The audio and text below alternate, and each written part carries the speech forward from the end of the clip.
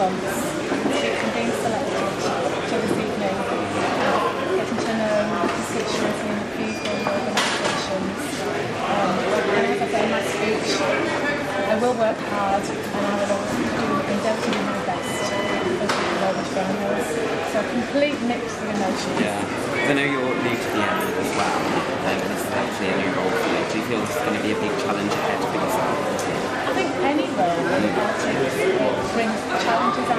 opportunities.